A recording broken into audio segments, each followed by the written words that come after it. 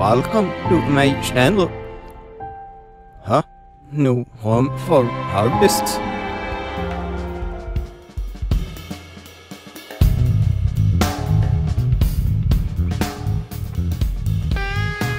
Hey everybody, this is Lee Wanner. We've been using this shape for a long time.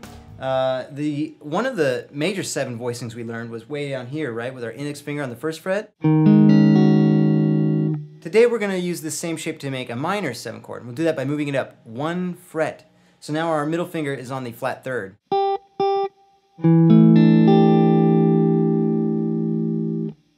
With the root, it'll sound like this.